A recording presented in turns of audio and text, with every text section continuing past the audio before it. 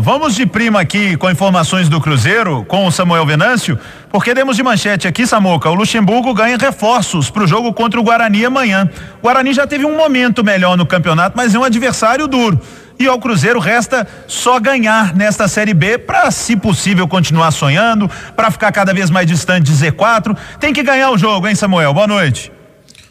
E é isso. Boa noite, Léo Figueiredo. Boa noite para amigo ligado aqui na turma do bate-bola. Itatiaia já fala ao vivo aqui de Campinas. Cruzeiro está chegando neste momento, vai ficar no Hotel Mercury.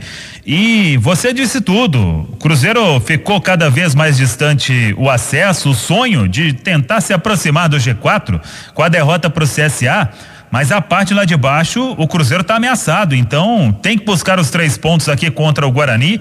Repetir até o que aconteceu no ano passado. O Cruzeiro venceu aqui 3 a 2 de virada no Brinco de Ouro, que ainda não terá torcida. São Paulo não tem a liberação, então, portões fechados para este Guarani o Cruzeiro. E o Guarani que está de olho no G4, vem de derrota também na rodada, perdeu para a equipe do Coritiba. Eu, desta vez, não tem como cravar o time do técnico Vanderlei Luxemburgo, porque não teve treino tático. Hoje foi um trabalho com bola mais leve na toca. O time jogou no domingo e ele relacionou muitas novidades. Tá ganhando boas opções o Vanderlei, por exemplo, a volta do Marcelo Moreno. O Bruno José tá de volta, não sei se para começar, mas para jogar com toda certeza aguentaria aí pelo menos um tempo. Relacionou pela primeira vez o atacante que quer e o centroavante Zé Eduardo. Então, muitas opções ali na frente, principalmente para o Vanderlei.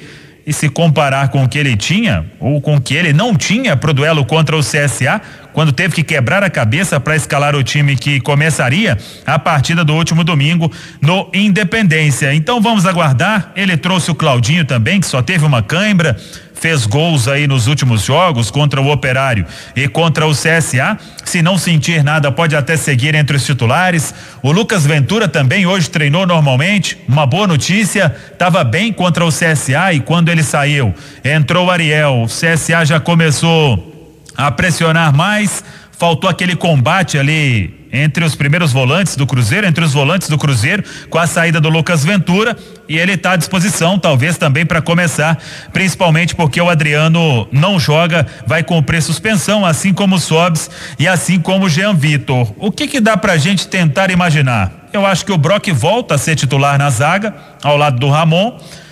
Fábio Cáceres continuando na direita, ou ele pode colocar o Rômulo? É uma possibilidade? É uma dúvida também que tem o Vanderlei. 6 e 45 Para a vaga do Matheus, tem o Jean Vitor.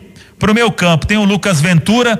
Se ele quiser dois volantes apenas, no domingo jogou com três. Se ele quiser dois, Lucas Ventura, o Nonoque e Rômulo. Poderia colocar um meia, o Marco Antônio ou o Giovani.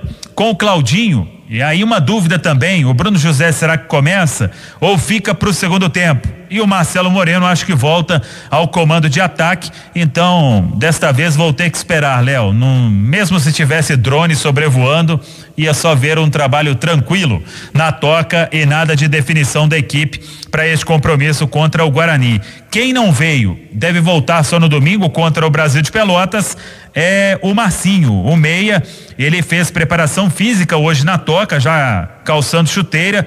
Isso é uma boa notícia porque ontem foi a campo apenas para um treino físico e ainda de tênis. Então o Marcinho volta no domingo provavelmente contra o Brasil de Pelotas. Mas é essa a expectativa que você disse bem, Léo. Tem que vencer este jogo. Restam 12 jogos para o Cruzeiro na Série B e se começar a tropeçar agora, aí a luta vai ser realmente para sair de Z4 da Série B, para se afastar do grupo dos quatro últimos na competição. E para a gente fechar aqui diretamente de Campinas, uma informação que vem de Portugal. O Marítimo quer demitir o Sassá por justa causa. O Sassá veio fazer uma cirurgia no joelho e até hoje está no Brasil, não voltou para Portugal. Ele até foi inscrito pelo Marítimo na Liga de Portugal, só que não retornou. O Sassá até o Globo Esporte trouxe há pouco, segundo a assessoria, Sassá tenta contato com o Marítimo, mas não teve retorno até agora.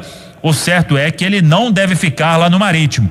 Aí o torcedor pergunta: ele volta pro Cruzeiro? Ele até tem vínculo com o Cruzeiro até o final de 2021, mas rescindindo o contrato em Portugal, estaria fora daquele período da janela. Para retornar ao Brasil, então não teria como ser inscrito, mesmo se o Cruzeiro quisesse, estaria impedido. E acho que nem está nos planos do técnico Vanderlei Luxemburgo. Seu Léo Figueiredo. Valeu, seu Samuel Venâncio. Amanhã, sete da noite, o Cruzeiro contra o Guarani, com transmissão da Itatiaia. Vamos acompanhar o Cruzeiro e tomara para tentar uma arrancada aí para melhorar a situação, sem acesso, sem nada, ficar longe desse negócio de Z4 de uma vez. Agora à tarde, em Florianópolis, o Havaí venceu Londrina por 2 a 0.